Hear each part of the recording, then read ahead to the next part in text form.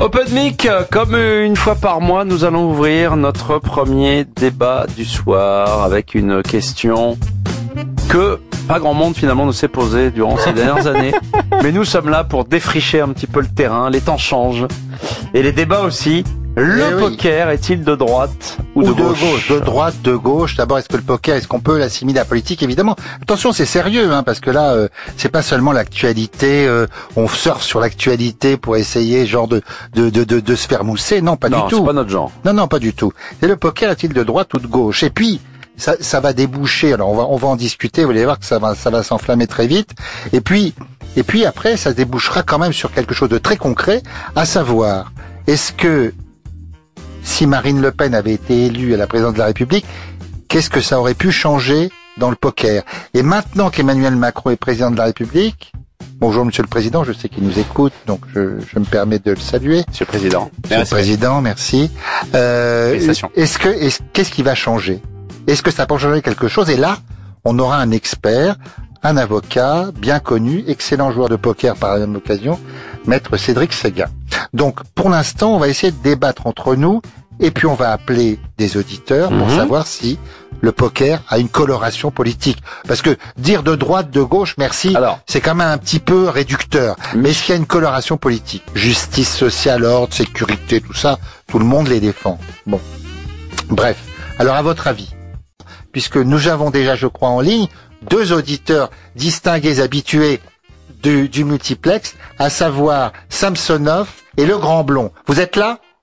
Oh allez là Bonsoir messieurs, et oui Open Mic, on vous donne la parole dans le multiplex poker, Ah, Samsonov. Bonjour, vous êtes sur Ah, la bah, euh, bonjour. c'est bien un mec de gauche. 57. Alors qui est là, c'est Samsonov? La dame envie. Samsonov, tu es là? Non, c'est le grand blond. Une fois l'enregistré. Non, mais non. Bah les amis, Qui est qui? Ah, ils sont perdus. ah vous nous avez raccroché les deux, on en a plus aucun. Nico, il Mais est non, on est là. Ah bah salut, c'est qui C'est le grand blond? c'est qui? Sans, sans sonore. Ah Samsonov. salut Samsonov, comment ça va? Bonjour les gars. Bien, Bonjour, très bien, euh. merci. Bravo Harper pour ton pour ton billet là sur euh, sur le training de de, de l'équipe Merci pro, là, sur le séminaire euh, On en parlera Winamax. tout à l'heure, On justement. On en parlera tout à l'heure. Ah c'est gentil Samsonov. vraiment. Alors, merci beaucoup, c'est gentil. Alors pour toi, le poker plutôt de, de droite, de gauche ou c'est une question débile Il voulait juste un ticket à 10 euros en disant ça. hein. C'est pour ça. hein. Alors, Ah, je vais encore y avoir droit. non, j'ai, vous avez, vous avez repris à peu près tous les, tous les arguments que j'ai mis sur, euh, sur ma réponse. Déjà, définir ce que c'est la droite et ce que c'est la gauche. Parce que Mhm. ça, c'est pas Vous, évident. vous êtes sur la ah, on veut plus de la messagerie. Là, je crois qu'on n'aura pas le grand blanc. Aujourd'hui. Et effectivement, aujourd'hui, avec euh, Macron, on voit bien que la droite et la gauche, on sait plus trop ce que c'est. On va dire que la droite, c'est plus, euh, plus euh, les, les valeurs individuelles, euh, et la gauche, plus les valeurs collectives. Exact. Bon, voilà. Mais Donc, on va, on va cliché, oui, on ça. On est d'accord. Parce que sinon, oui, sinon on va pas s'en sortir, ça va, ça va, ça va être trop long. Euh, par, partant de ce postulat, le poker c'est un, c'est un jeu d'argent, donc normalement on va se dire que c'est un jeu de droite. Il y a tous les poncifs du libéralisme dedans, la, libre- la liberté d'entreprendre et surtout la finance. Et euh, on se rend compte qu'il y a beaucoup de termes de poker qui correspondent euh, à des à des termes financiers. Bien Le sûr, swap, bien c'est sûr. un- le swap, c'est un produit financier, c'est un produit de marché. Oui. Le cap, c'est pareil. Une option, c'est L'equity, pareil. L'equity. Vraiment, L'equity. Oui. ouais, du, du taux, oui, exactement. Donc on est vraiment dans un environnement euh, complètement euh, lié à l'argent. Donc voilà, on dit que un- on, on dit que franchement, on voit bien que là, on est euh, purement de droite, quoi. Et d'un autre côté, il y a quand même, comme tu l'as même toi-même dit dans ta après, voilà. Il y a, il y a un autre truc, c'est que on- si on part du principe que le, le poker moderne, entre guillemets, les années 70, ont été développés par euh, Doug Bronson, les Texans, les bons républicains, on, on voit bien que c'est- quand même initialement un courant, un courant de droite. c'est ça. Mais Mhm. derrière ça, et ça tu l'as dit tout à l'heure, euh, Michel, tu l'as dit à Pierre, derrière ça, c'était à partir du moment où il y a eu le FR, le point .fr, après le point .com, il y a eu une explosion de tous les clubs. Oui, mais Il y a eu une explosion d'associations. je te, je, Euh, je, je te- excuse-moi de t'interrompre, mais c'est pas seulement, c'est pas seulement après le point FR, parce que euh, les, les clubs, les associations, etc. Ça existait depuis beaucoup plus longtemps. Tu vois, il y avait des clubs puisque justement avant, avant l'ouverture du marché des jeux en ligne, des jeux d'argent en ligne, on avait le droit de jouer gratuitement. Donc il y avait déjà beaucoup de clubs et beaucoup d'associations. Et d'ailleurs, nous, on est bien placé pour le savoir à 2008, Winamax 2009. puisque on était déjà partenaire de plusieurs dizaines de clubs et d'associations euh, gratuites euh, avant le point .fr, euh, dès 2007, tu vois. Donc euh, en fait, il y avait déjà beaucoup de gens qui jouaient au poker pour la beauté du jeu seulement. Ouais. Bon, et pas seulement, ça- pas forcément, Ouais, ouais, c'est mais ça. voilà, pas forcément. Alors Ça s'est peut-être, démocratisé en Mais, fait. mais Michel, moi il, y le, a eu, pro- il y a eu des commodités. moi le problème, démocratisé. le problème c'est pourquoi est-ce que jouer au poker pour la beauté du jeu, ça serait plus de gauche que de droite? C'est quelque chose de neutre. Bah, et pourquoi est-ce que jouer pour l'argent, ça serait plus de droite que de gauche? Tu crois que l'argent, tout le monde n'en a pas besoin? Il a raison, à part ça. Mais non, tu viens de dire le contraire, euh, monsieur non, non, non, non, non, non, non. Je dis que Jouer pour de l'argent et vouloir. Non, tout le monde, c'est pareil, je retourne ton argument. Jouer pour de l'argent, c'est de droite et de gauche, pareil. Tout ça, ce Non. clivage, ce clivage est un petit peu, un petit peu artificiel, je trouve. Voilà. Il y a de, moi, En pour fait- moi, le résumé, c'est que, enfin, le résumé, on n'en est pas encore à la conclusion, mais pour moi, si tu veux, euh, le poker, il y a tellement de choses de la vie dans le poker, d'accord, euh, que que que ça, il y a, il y a toutes les valeurs, celles de gauche, de droite, etc. Et on n'est pas, on n'est pas obligé de de de de, de catégoriser les valeurs Non. du poker. Voilà. Non mais on n'est pas obligé, bien sûr. Et d'ailleurs, c'est un petit peu, euh, comment dire, c'est un petit peu forcé comme euh, comme truc. Mais euh, vouloir monter sur, cap- sur sur son capital en étant plus habile que les autres et en prenant l'argent des autres, c'est pas du tout une valeur de gauche. Et d'ailleurs, moi, tu vois, bon, bon, j'ai raconté un petit peu ma vie, mais par exemple, je suis parti à Lisbonne pour payer moins d'impôts. Euh, je suis, euh, je suis, je, je, je, ne et je, ne m'autorise pas de voter, par exemple, tu vois, parce que parce que Alors ça, ça, je, je, là, je comprends pas. parce que en fait, non, mais parce que en fait, c'est- enfin, curieusement, moi, je suis quelqu'un qui à la base était plutôt à gauche. Je suis, par exemple, quand j'entends les discours de Mélenchon, je suis complètement d'accord avec lui. Mais comme je fais du poker, je, bah, je m'autorise pas à, voter pour lui, quoi, parce que ça serait trop, ça, ça serait trop incohérent. Ben, non, parce que tu vois bien, c'est, Bah, non, non, non. tu sais, dans, Non, la- regarde, moi j'ai, j'ai- j'ai, excuse-moi Michel, je vais te Oui, couper. oui. Moi j'ai comme instrument de mesure, Harper il a fait Twitter.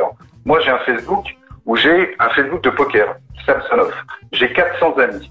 Et ben je peux te dire que là, ces 15 derniers jours, mon Facebook ça a été Tchernobyl. Parce que bah, tout le monde s'est exprimé et là j'ai vu que les gens que je connais à travers Internet seulement sont pas des amis proches, pas des amis personnels. Et là j'ai vu qu'il y avait tout dans, dans le poker, des passionnés, il y a toutes les sensibilités. Euh, de, de ça va de voilà de Mélenchon à Marine Le Pen. Donc en fait, c'est difficile de catégoriser. Non, mais c'est pas le débat. en- Là, là, c'est gens, sont des gens qui se sont mis à parler politique. pratiqué par tout le monde. Ouais, non, mais alors, euh, le joueur de poker professionnel qui ne crée pas de richesse, qui s'enrichit de manière artificielle en prenant l'argent de souvent de gens qui sont addicts, etc., qui en plus euh, part de France pour pas payer d'impôts, ah, peut, peut, peut, peut, dire qu'il est de gauche et voter à gauche? C'est, c'est, enfin, moi, ça me Ah, paraît complètement t'entends bien normal. le discours de certains. Bah t'as bien des, des footballeurs, c'est pareil, hein, qui sont à l'étranger, qui qui, enfin, qui disent bon bah faut que- voilà, qui donnent leurs idées.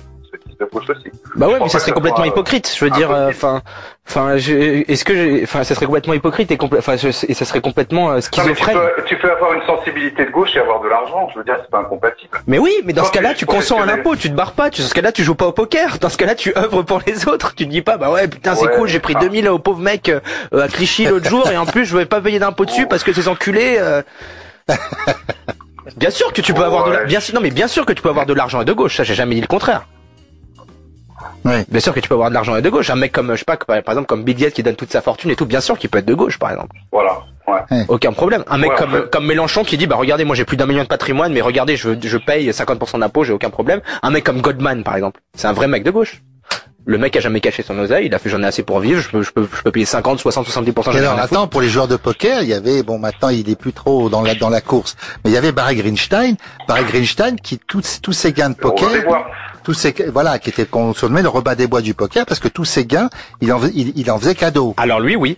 Ok. Ah. Ça me va. D'ailleurs, c'est Ça assez, fait un exemple. c'est assez paradoxal que le seul homme politique finalement dont on sait qu'il joue au poker, c'est un homme de gauche, c'est Julien Drey. Euh, oui, c'est pas le seul, mais effectivement lui. Mais en tout cas, qu'il affiche. C'est ça l'officiel. Le seul Voilà, c'est ça. qu'il affiche, ouais, voilà. Et qui- Il qui- l'affiche, oui, c'est vrai. Et qui c'est le dit. Oui, oui, c'est vrai. Non, mais après, dans tout le discours là de Pierre, on parle quand même de joueurs qui ont euh, un objectif pécunier. Pour moi, le Le poker est un jeu de gauche jusqu'à temps qu'il devienne de droite. C'est-à-dire qu'on est dans Voilà, un premier temps malin, un joueur, malin, on est, on est dans un, pre- on est dans un joueur de club.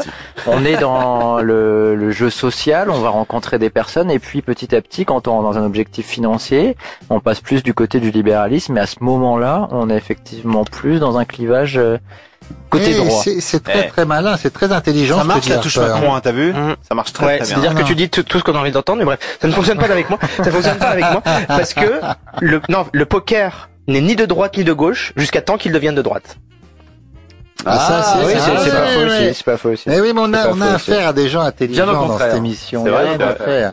Non, c'est vrai que, mais moi je suis plutôt d'accord avec le côté social, rencontre, etc. Oui, Piti. Dans machin. Wipiti, par exemple, ça c'est typique. Wipiti. 2000 joueurs à la Villette. Voilà. 2000 joueurs qui ont mis toutes- zéro sur les épreuves. Parce qu'attends, c'est quand même, excuse-moi. Alors Winamax, alors est-ce que de droite, de gauche Tu as, tu as l'exemple avec Winamax. Winamax, c'est une entreprise commerciale.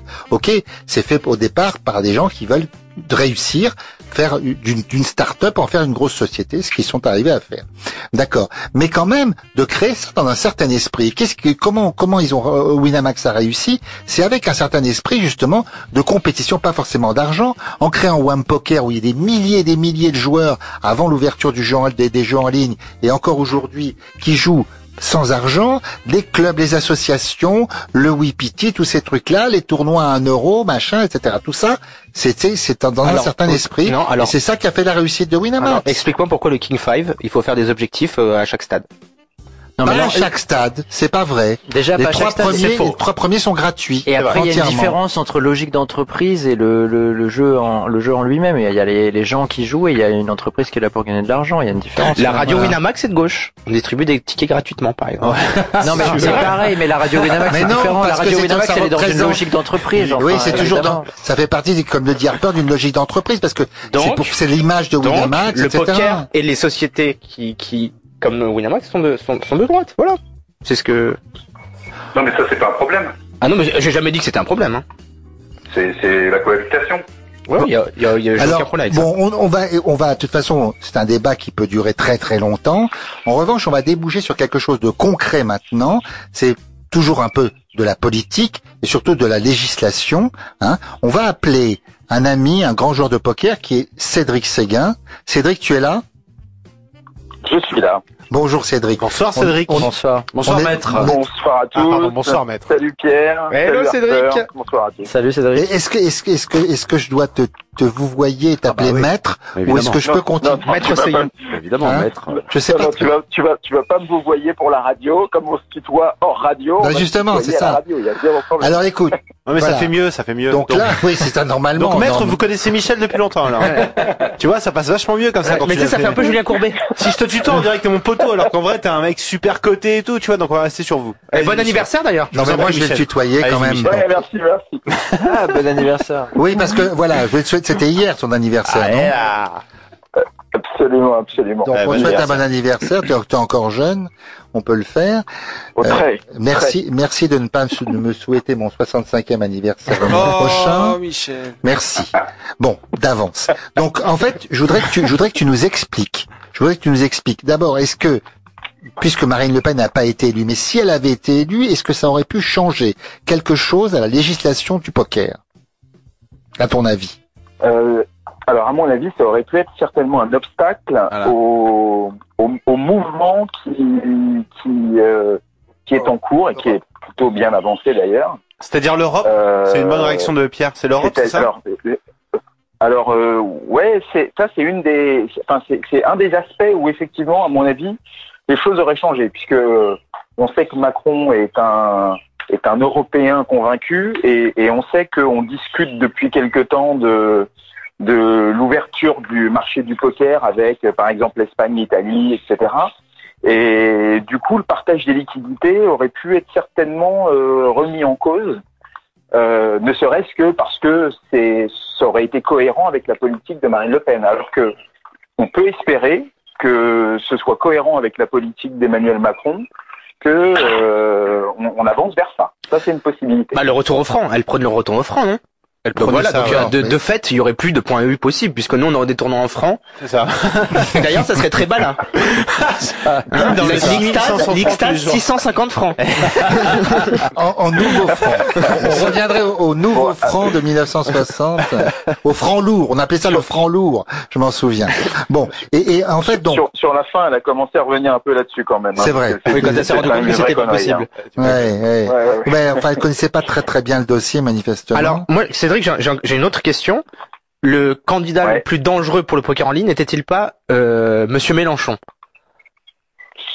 Euh, vraisemblablement que. euh, alors comment dire? D'abord, suis- j'ai écouté. Hein, je suis assez d'accord avec toi lorsque tu dis que le poker c'est ni de droite ni de gauche jusqu'au moment où ça où, où ça Ça devient devient, un ouais. jeu de droite. C'est-à-dire Les que- gens intelligents sont d'accord Ouais.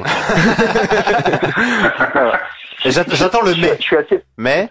Je suis assez d'accord avec ça. Non, non, y a, y a- en l'occurrence, il n'y a, a pas forcément de mais. Euh, en revanche, ce que je pense, c'est qu'effectivement, ça colle pas complètement à, aux valeurs de, euh, aux valeurs de partage, aux valeurs de redistribution euh, que euh, Mélenchon euh, prône et qui constitue euh, le squelette de son programme. Euh, je crois pas que le- le- les valeurs du poker, ou en tout cas euh, ce que ça peut représenter, euh, colle véritablement avec ce avec ce type de raisonnement. Donc du coup, je suis pas sûr qu'il aurait été euh, véritablement euh, l'ami du l'ami du développement du poker, oui. bien que euh, bien que aujourd'hui, par exemple en ce qui concerne l'ouverture des clubs de jeu, euh, on voit que euh, le tout récent décret qui vient de paraître, hein, qui est un décret du 9 mai qui a été publié le, le 10 mai, Sur les paris euh, sportifs. qui autorise euh, voilà, qui autorise les Ah clubs oui. de jeu à la fois pour le poker, à la fois pour les paris sportifs, le à la fois aussi pour les pour les courses hippiques, absolument, ce qui Mhm. risque euh, d'intéresser pas mal de monde. Euh, bah évidemment, euh, ça c'est ça c'est c'est- c'est euh, c'est ouvert euh, par un gouvernement de gauche.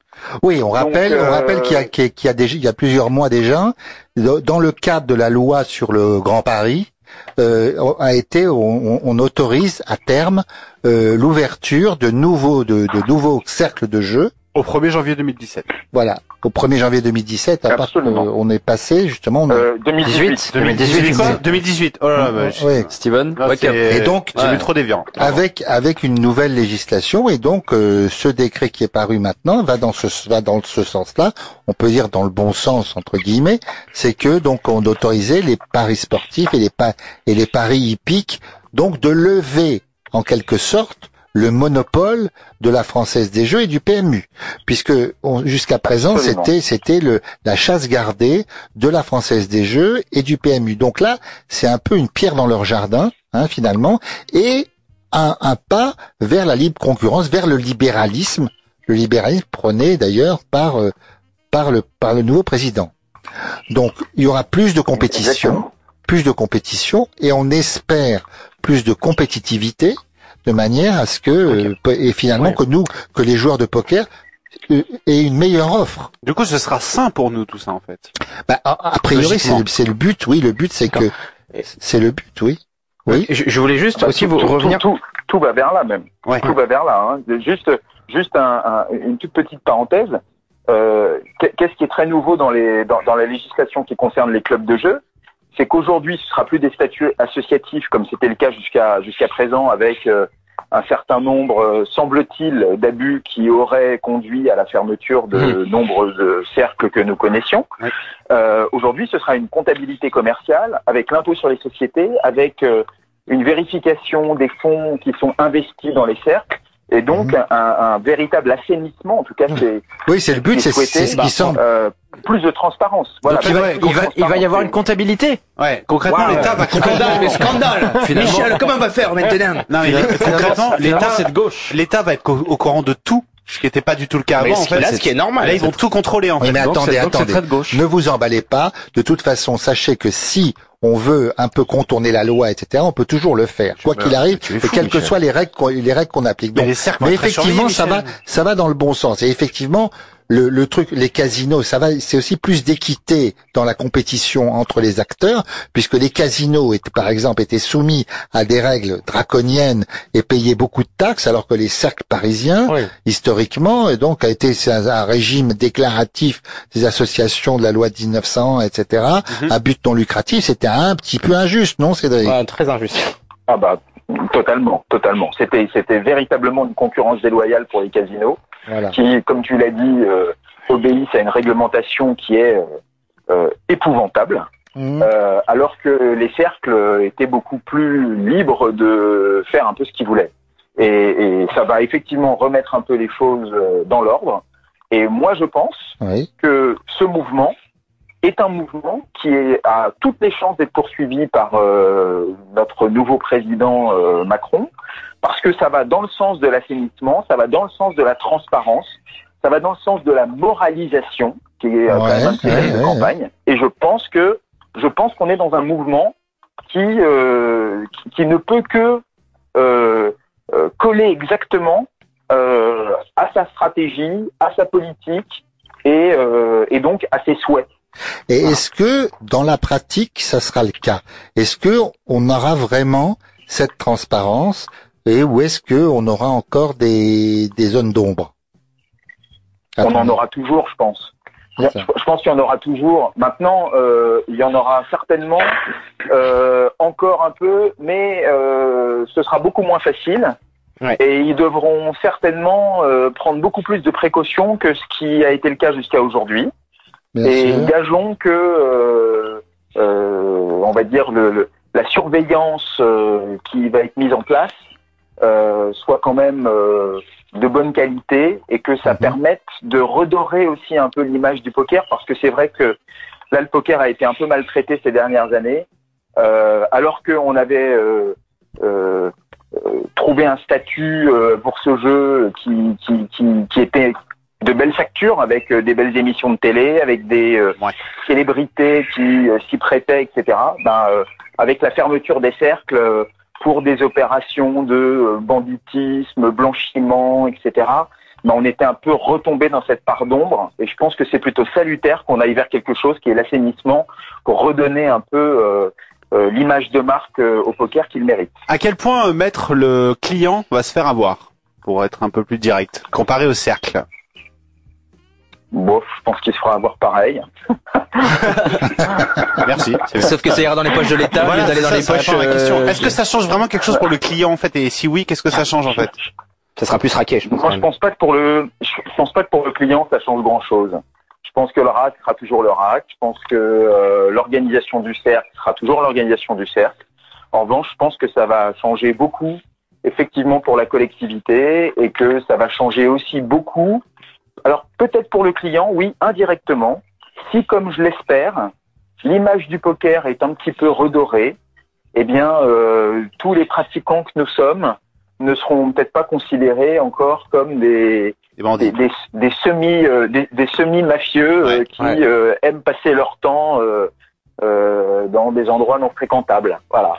Pe- Peut-être Mhm. que effectivement ça ça ira mieux de ce côté-là. Mhm. Bon, maintenant ça changera pas grand-chose, euh, je pense, vis-à-vis du client dans l'absolu. Mais ça résonne comme une bonne nouvelle quand vous en parlez, maître. On dirait cette arrivée des, des cercles à Paris là. Enfin des clubs plutôt. Ah bah, je pense que déjà, bon, premièrement, je suis parisien, donc là aujourd'hui, euh, on n'a plus qu'un seul endroit, ça fait un peu court. Oui. Euh, non, mais je- oui, je pense que ça répond à une demande et je pense que c'est souhaitable parce que d'ailleurs, c'est ce que les, les services généraux, euh, les renseignements généraux ont identifié et la police des jeux également.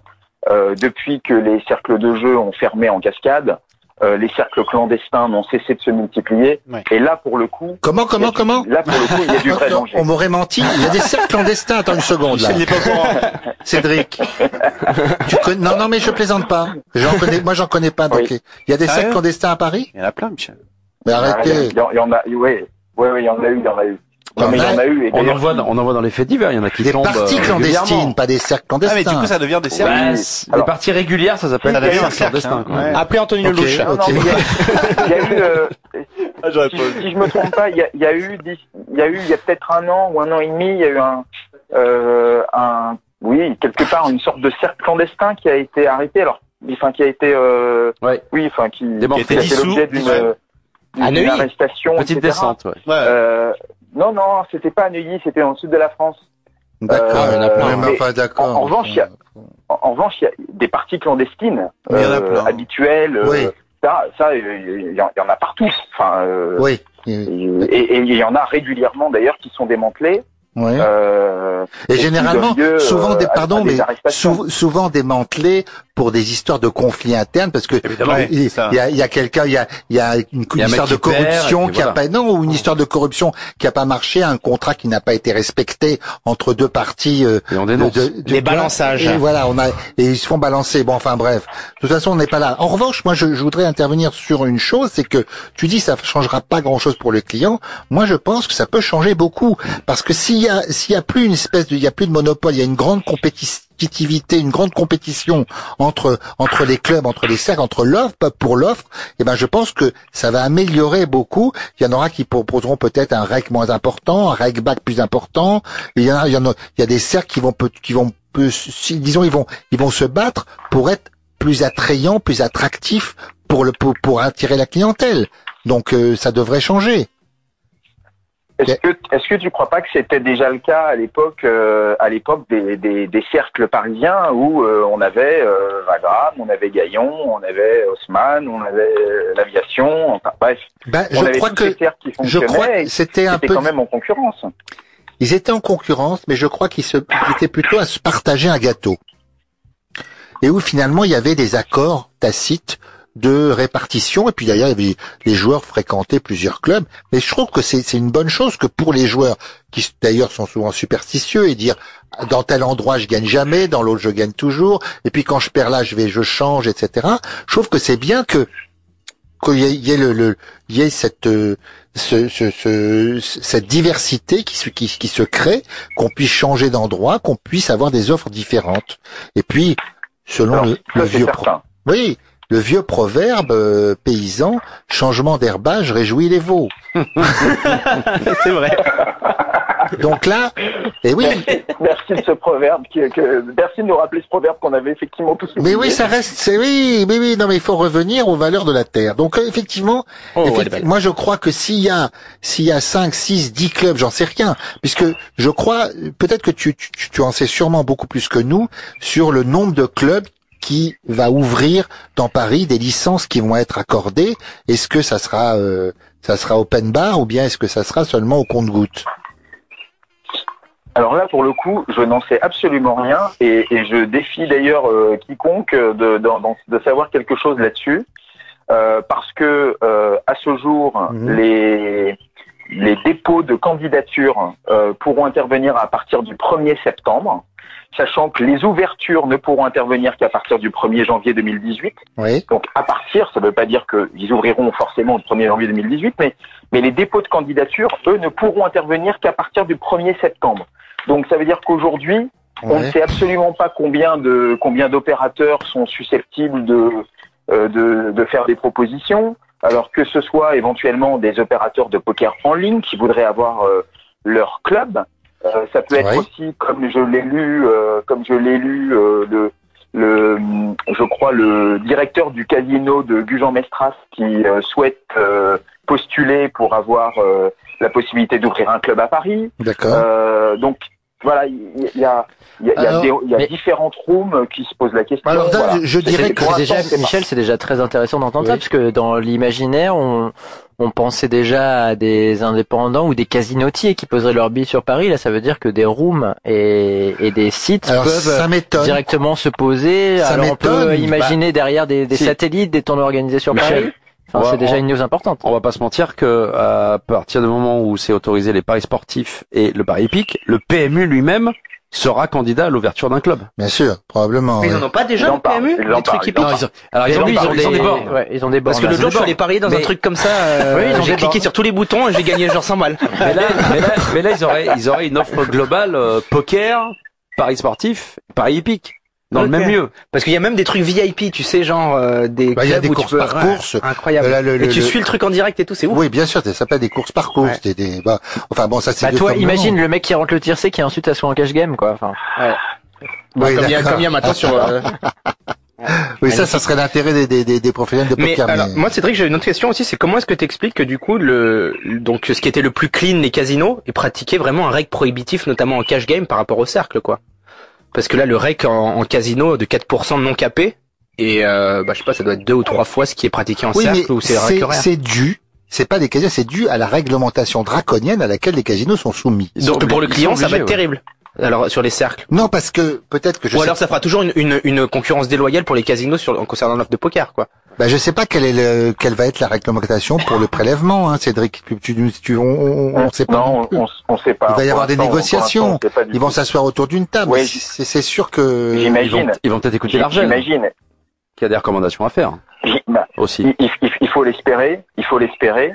Et d'ailleurs, euh, c'est ce que j'ai lu aussi à droite et à gauche. Hein, il semblerait que à la fois euh, Partouche, Barrière euh, euh, s'intéresse à cette euh, à cette nouvelle opportunité que de créer un club de jeu euh, à Paris.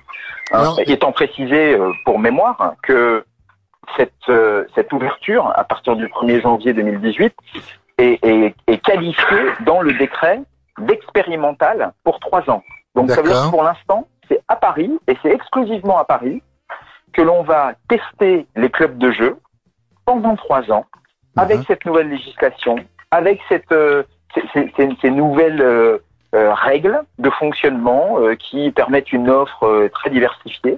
Et donc Et, possible, et possiblement. ce sera ouvert. Voilà, possiblement dans le reste de la France. Mais moi j'ai deux questions. Alors d'abord pour les rooms de poker. Moi je crois que c'est pas le même métier. Et par exemple je, je doute que Winamax veuille ouvrir un cercle de jeu à Paris. J'en sais rien.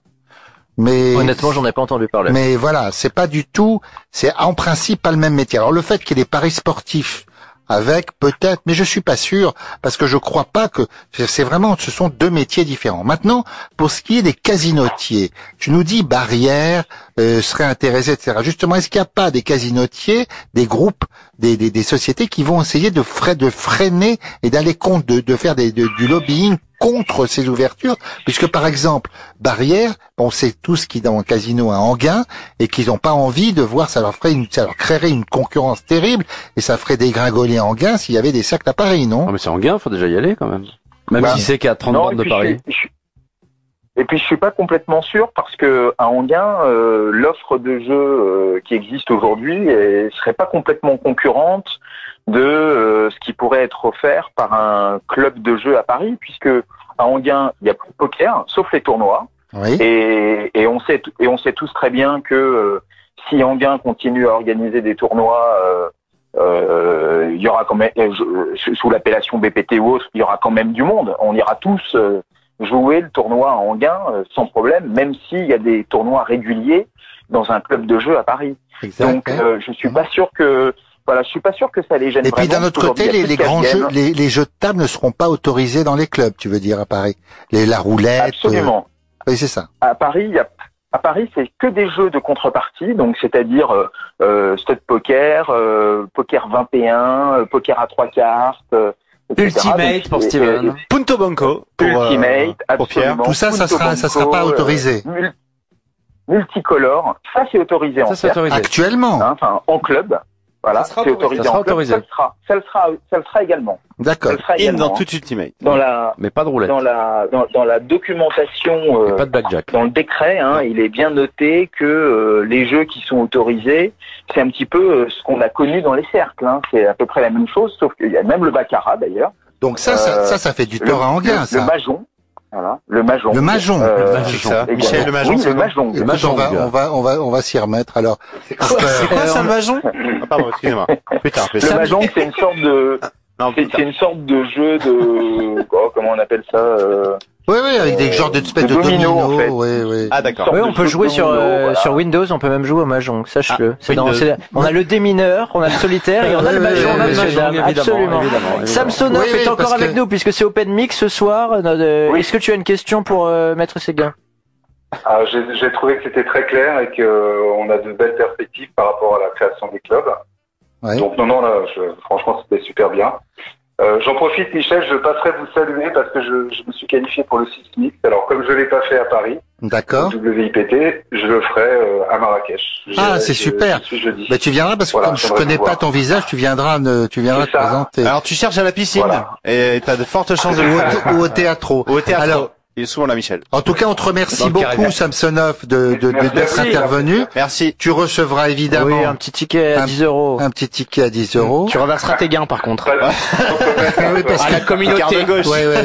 Il faut que ça reste un jeu, un de gauche je vous quand verrai même. un verre. Je vous verrai un verre. Je vous verrai un verre à Marrakech. Non, Avec on, prend, on plaisir. prend, on prend 60, po- soix- on prend tout au-dessus de 10 000. Non, au-dessus de 40 000, on prend tout. 40 000, ouais. C'est ça, Ah. 40 000. Bon, C'est bien mélanchoniste, Pierre. merci, merci beaucoup de ton intervention et Merci, on se revoit dans la semaine prochaine à, à- Voilà. à Marrakech.